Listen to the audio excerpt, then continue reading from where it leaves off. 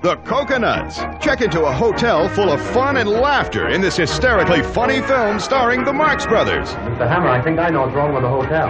I think I know, too. You're fired. Get your hat and my coat and get out. Ah, gentlemen, customers. Ah, how do you do? What are you boys giving me the runaround? Uh, you know, you know what an auction is, eh?